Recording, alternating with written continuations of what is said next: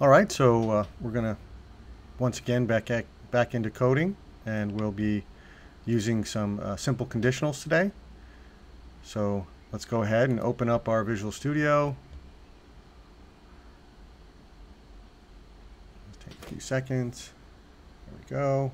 And I'm going to go ahead and file new, new project. And I'm to call it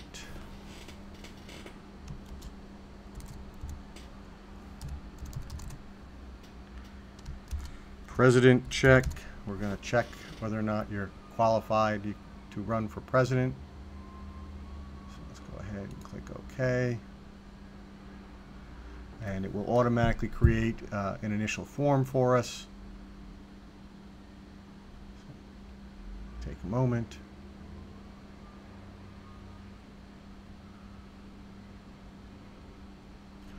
So, and one of the things I want to remind you is that as you move around, you may see certain things go out of focus. Uh, by that I mean such as properties, the toolbox. Uh, let's see if I can get my, there we go. All right.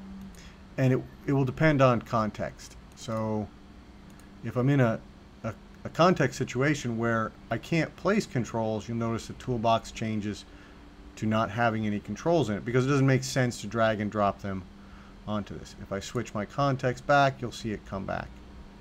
Uh, now, you can auto hide these if you want the full screen. And what will happen then is that uh, this will disappear until I uh, select its tab. And you can see I can also group things together using the tabs.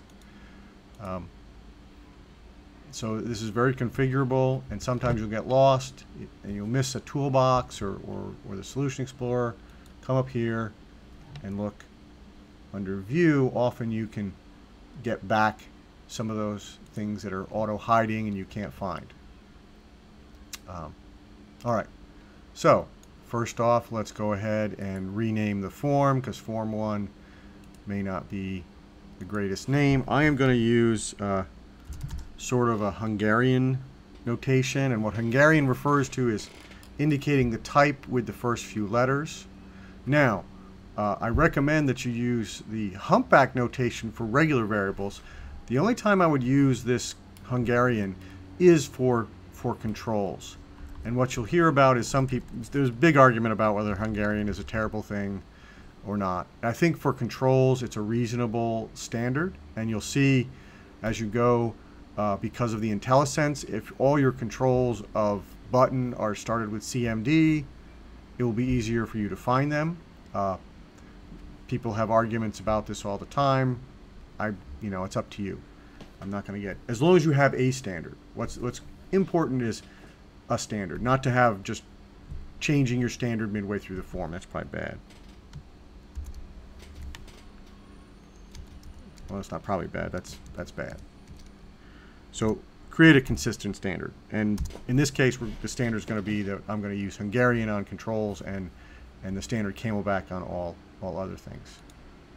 I'll go ahead and I'll update the references. That is, it's going to rename everything to form check. This is going to be check for president. Okay, so let's select this. I can change the properties so that this is something more appropriate, like, uh, what was it? Um,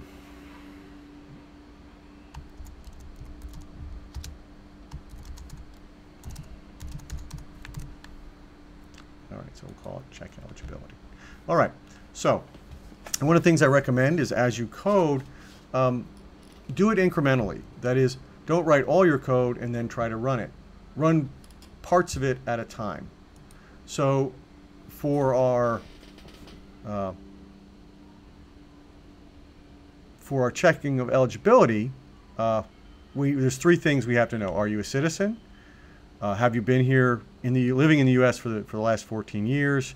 And are you 35 years or older? Right. So let's start with the uh, with the first one. Uh, the first one uh, we should start with. Let's just start with age. You know, we've we've seen age before, and it's pretty simple. So let's go ahead with a text box. Right. And again, I'm going to use the Hungarian notation, txt age, right? So, um, and now let's go ahead and create a label. And again, one of the reasons we're doing this is just to get a little practice in, right? You should know how to do this.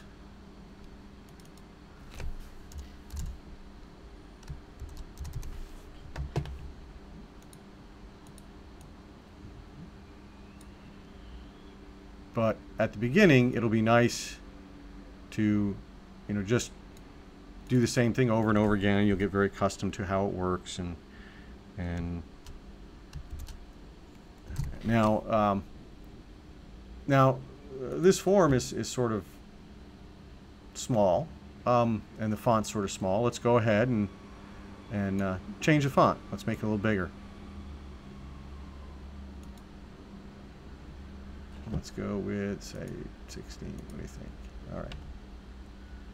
And notice that uh, the form automatically, the, the, the label automatically resized to accommodate that new font size.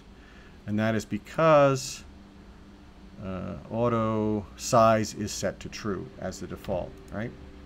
Now, um, let's go ahead and take a look at the font here. And obviously, uh, users like to see some consistency, so let's go ahead and make sure these two are both set at 16.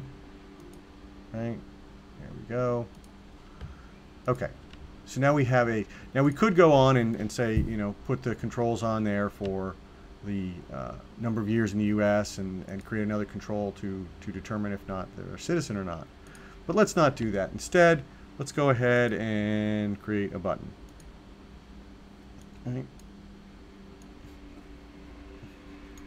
And since there's only one button on this form, let's go ahead and make it nice and big. It's hard for them to miss it, right? And again, I'm going to use the Hungarian notation, which some people will complain about. I'm okay with it.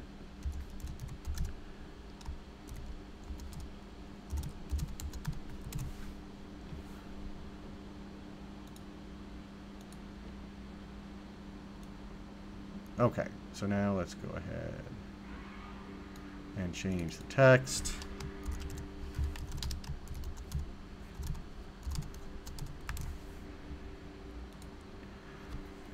All right.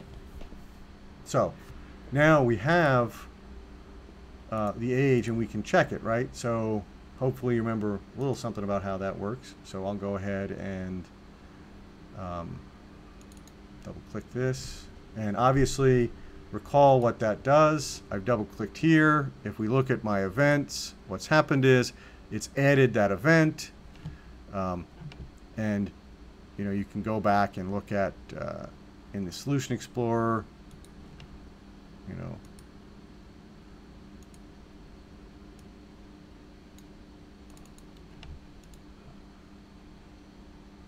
you can recall that um,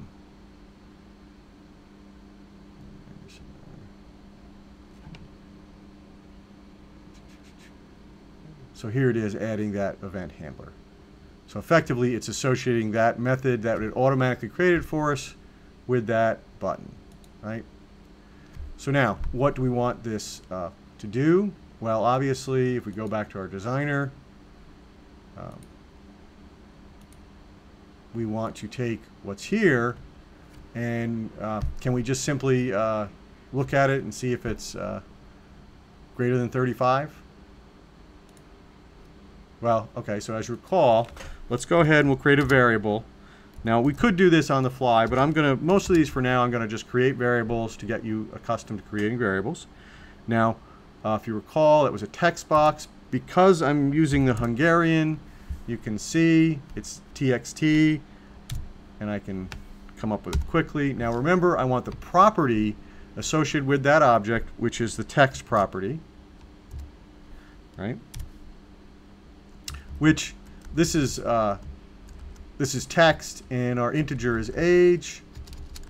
That's an integer. So we're going to have to go ahead and convert that. And you'll see these types, and it might look a little confusing. You see this 2int32, which is the one we're going to use. And if you're not sure about what to convert to, um, these these types in C Sharp have associated types in the CIL, uh, CLI, and you can see here it says int32. So often, if you want to know the specific type it translates to, you can mouse over it, and we can see we're, we're going to convert this text into that. Now, one of the things we know is if, if we don't give it a number here, if we give it like uh, Fred, this is going to crash. And we're not going to worry about that yet. All right. So now we have the, uh, we've converted it to an int. And let's go ahead and check it. And we'll say uh, age is greater than 35. Do we want to say, what do we want to do there? Think about that for a second. Do we want greater than 35?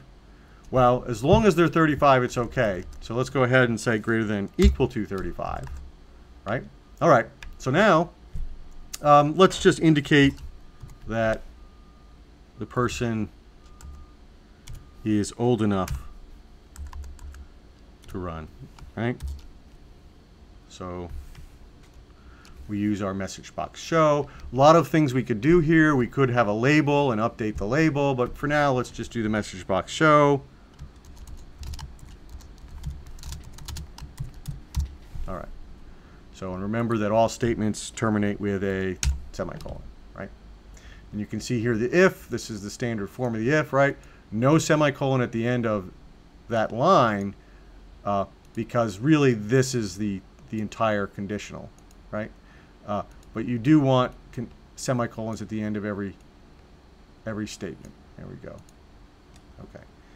So, well, we could go ahead and, and worry about our other eligibility criteria. I don't recommend it. Let's go ahead and try this out, see what happens. See if I've uh, managed to do this correctly, right? All right. So hopefully I don't get any build errors. Dun. That's a little slow. All right, so there's my age. It's very big. I think it's because I made the, the button gigantic. All right, let's go ahead and try it though, 35. So I put 35. You always want to decide what you expect to have happen. So what we expect to have happen is 35 is greater than or equal to 35. We expect the message button, message box to show. And there it is. Now, correspondingly, that's one check. And this 35 is a good because it's right on the edge. We like to check uh, the, the edges of our ranges. Uh, so let's try 34. And sure enough, nothing happens, which isn't, from a user's perspective, isn't, isn't that great, but it is uh, what we've coded so far. All right, so let's close this down. We can hit the X to do that. That's fine. Let's go ahead and maybe, maybe we overdid it with the with the size of the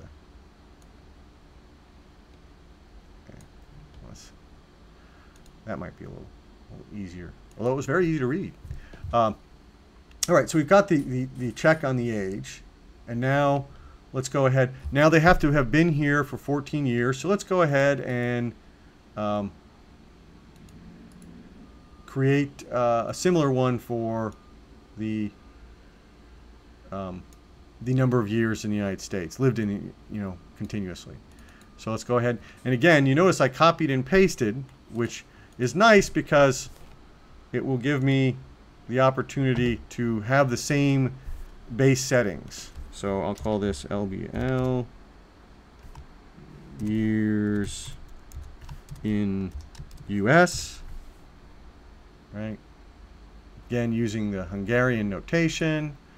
Uh, let's go ahead and copy that and I will paste it and I will line it up.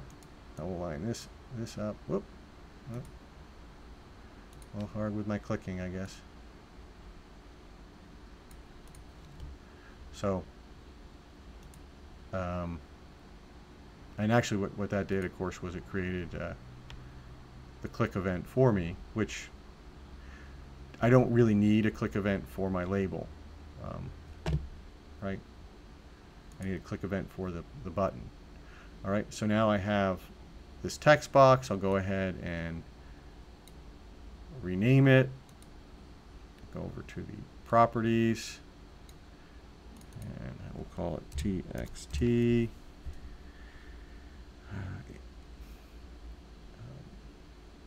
TXT uh, years in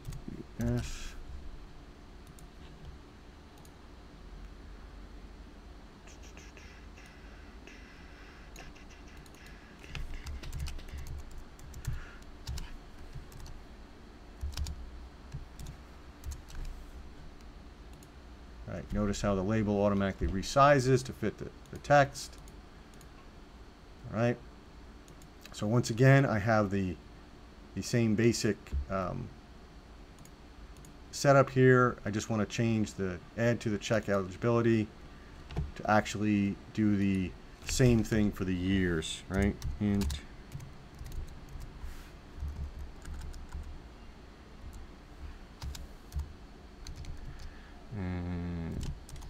Notice I'm using the camelback notation for this.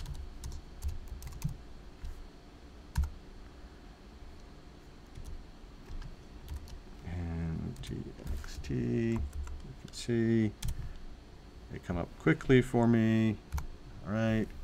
And again, it's the text property I, I want, which, you know, text property is, is a is a string. You can see the the string right there. Again, end with a semicolon. Okay. Now I want another conditional similar to the previous one, except I'm going to do it for years in US. And it's going to be greater than or equal to 14. Right. Now I will have a message box again.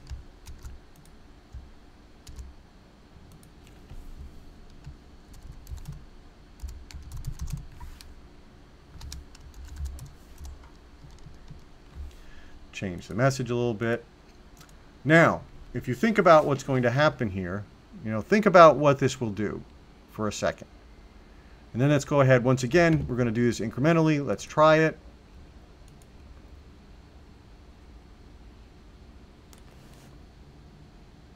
Still kind of big. Let's go ahead and I'll say 35. I'll say 14. Again, what do we expect to have happen? Um, so think about what, what should happen. Okay, so first it comes up and gives me the text box, the, the message box for old enough to run. And now it brings up the second message box. So in the same click, I'm, I'm sending two messages, which might be a little awkward, uh, but the purpose here is just to get a look at conditionals, right? Let's go ahead and go back to our form designer. Maybe change the size a little bit.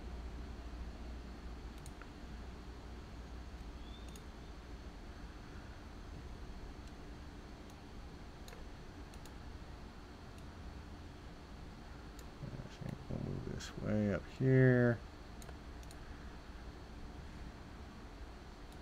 So it stays on the form, obviously. Um, that is, it stays on the visible portion of the form.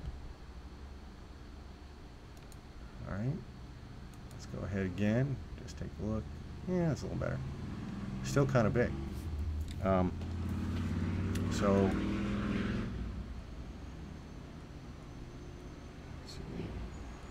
again, let's try 13 and 13. What do we expect to have happen? Well, this is less than 35 and this is less than 14, so we should get no text. And we do. All right. So now the final item to see if we can actually run for president is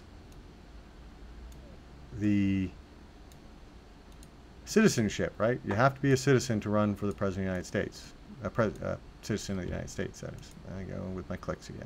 All right.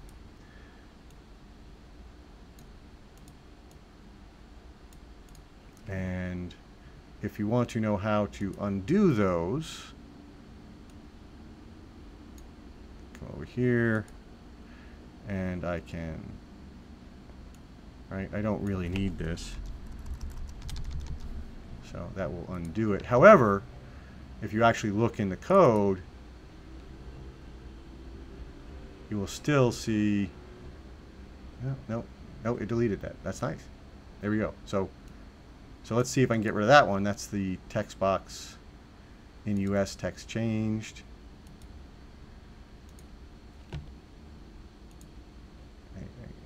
Let's go back to that for a second.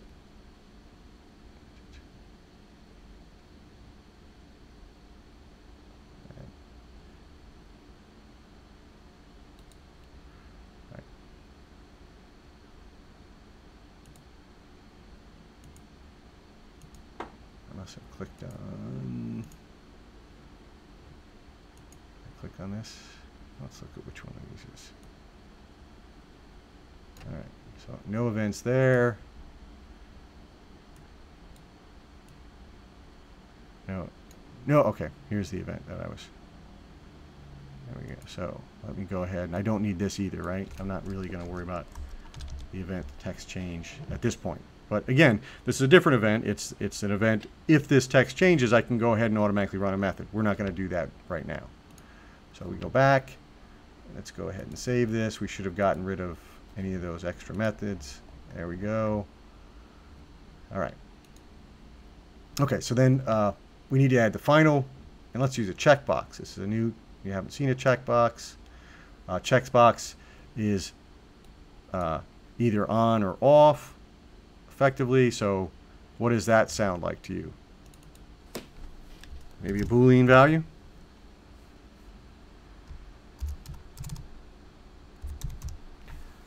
All right.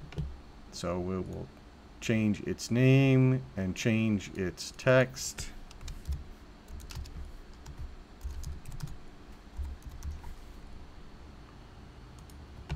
Right?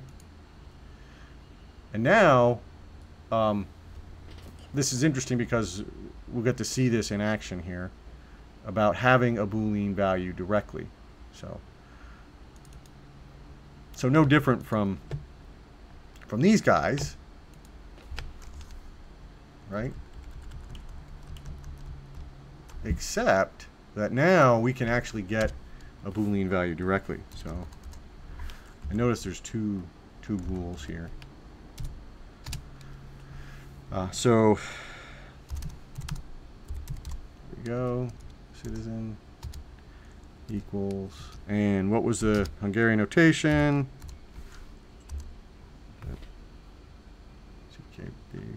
check.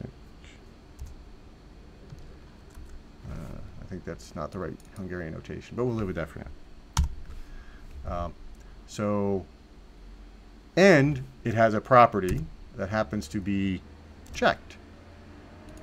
And if we look at this, we can see that checked is a Boolean property. You know, so so effectively, uh, the type of that property is in fact Boolean, which means we can do this assignment. Remember declaring variables, this has to match. So this has to be a bool so that we can assign it to another boolean variable, right? All right, but now if we go to our conditional, we can simply say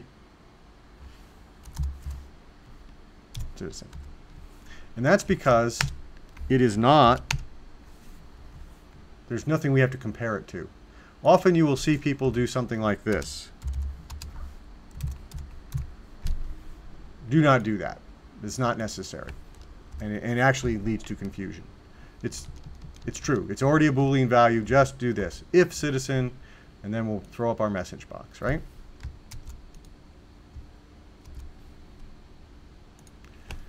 So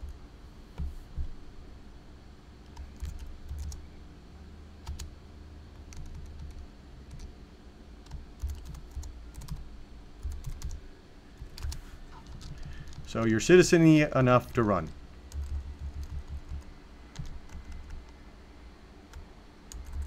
Really not. Not a word. But anyway. Uh, so, so let's go ahead. And of course, the first thing we want to do is, is try it out. And we're still going to have to put ages in here because if we don't, it will crash. And we don't want to crash right now. But there are things we can do to get around that uh, which we will talk about a little later. Um, so let's go ahead and check our eligibility. Okay, when, with this checked, it gave us the message box. Let's uncheck it. Nothing. All right. Now, this isn't the most useful. Well, I mean, certainly you should be able to know if you're a citizen or not. And if you've been here long enough and you're old enough, uh, that you should be able to do that in your head, right? So that's not the point of this. But it's also a little awkward the way it displays information. Effectively, it it uh, um, it doesn't wrap it all together and give a single message, which would be nice. So can we do that? Let's see. So let's go set the eligible to true. Okay. And we're going to add an else here.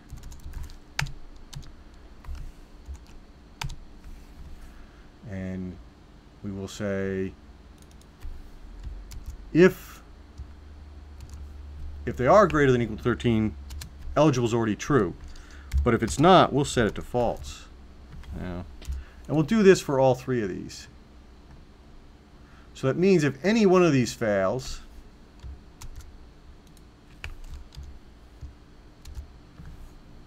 we can throw up a message box that says you aren't eligible, right?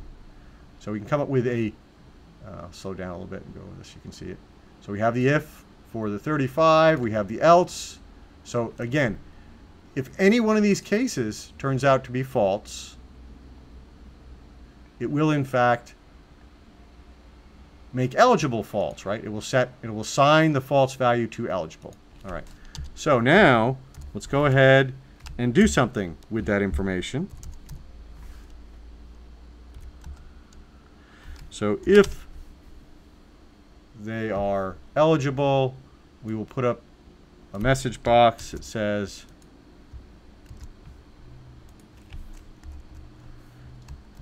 you can run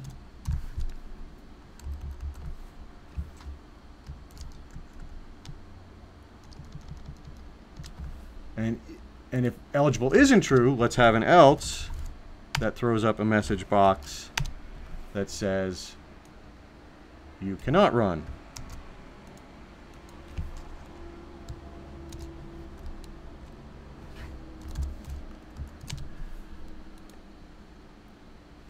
So uh, now if we were to run this, it's still going to be a little a little clumsy because we'll have these other message boxes here. Um, but we can fix that maybe a little, little later, right? So let's let's just put in for now zero, zero, and we'll check eligibility.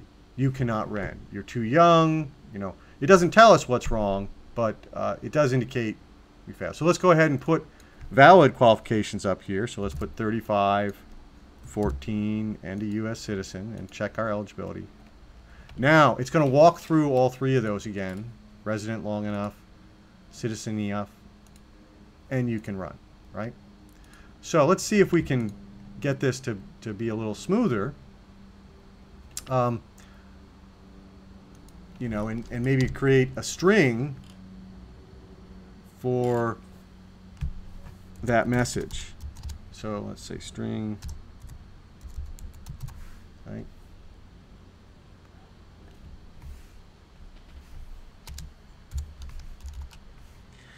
I'll initialize it to nothing. And then instead of creating a message box, I'm just going to assign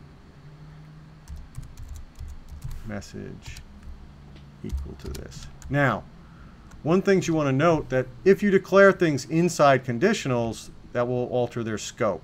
So if you only need something inside the conditional, that's fine. But if you need it later, you have to declare it before the conditionals that you use it in. All right. So let's, uh, we'll keep the other stuff, right? Now, we come down here. Let's do this. Right? So the question is, what do we want to do here? Well, um, the message is that uh, we already we might already have something in message, right? So what we want to do is we can use message plus, which is fine, which is this this is concatenation. Let's get rid of that extra, right?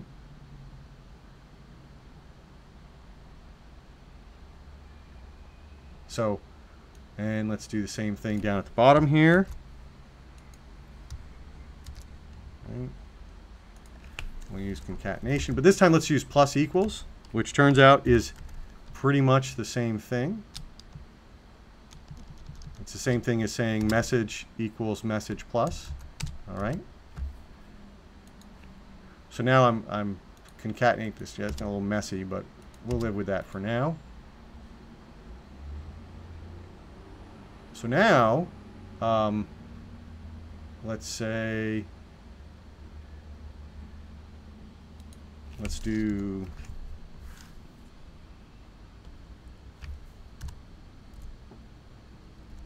message plus equals.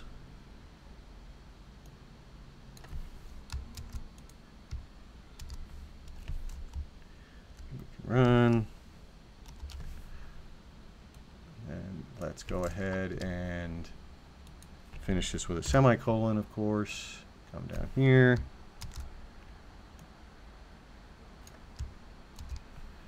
You can run but we'll change that now to you cannot run. Add a space at the beginning to make it so that even though we're going to have a kind of a messy blocks of text there, it'll it'll concatenate it all together, which is just basically clumping the strings together. That's what concatenation means. Uh, so then we'll go ahead and do our show. Oops, sorry. Message box. Show. So now think about this. How many message boxes are going to pop up? So let's see. Let's give it a shot. Let's find out. Again, if we don't put things in here, we're going to error out. And we're not going to solve that problem today. Uh, let's go ahead and, and check. So I was a citizen enough, but I cannot run. So it doesn't it doesn't tell me what was wrong. It just tells me that this was right, but then I can't run. So uh, can we fix that? Well, sure. At the same time we set the eligibility to false, we can go ahead and do the same thing with the message. And notice in the in this first 35, we don't have to use the plus equals, right? Uh, because in both cases, in both the, the if and the else, it's going to be the first part of the message. And I'm just going to stick not in front of that. All right. And then finally, I'll grab this. Oh, no, sorry. Down a little further. Grab this guy, and I will add him. And there we go. All right, so now, uh, hopefully it will, will give me a, a slightly clearer message. Just again, this isn't pretty, but uh, so now it should tell me what was wrong. You know, it should tell me what where I didn't qualify. So let's just do this quick. So 14, 14. So this is this is good enough. This is not, and I'll say let me check the eligibility. Not old enough to run for president, long enough to run, uh, resident long enough to run, uh, citizen enough to run, citizen enough to run, you cannot run. So uh, that that's correct. Again, that's not the best message in the world, but we can work on cleaning that up a little later. But you get the basic idea of one, both using your variables converting them to the appropriate type as needed. You can see some some some properties are automatically the correct type. Here we've seen a uh, the use of a comparison to create. This is a Boolean expression, and we've convert, it converts into a simple Boolean value uh, based on the value of age. Uh, same thing for years and age. But then we get down here, we see uh, citizen, which is simply a Boolean value. Therefore, it doesn't need to be compared to anything. It's already a Boolean value. And also eligible is already a Boolean value, one that we set based on the circumstances as the program ran. ran. All right, so we'll get a chance to do this in class, uh, something similar, where you get to use some conditionals. And uh, that's it for today.